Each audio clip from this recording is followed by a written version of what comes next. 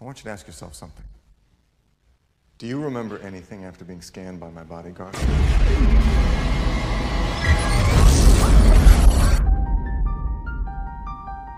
There's been a Sixth Day violation. How much does Gibson know? Who are you people? Open your eyes. Your family could get killed in the process.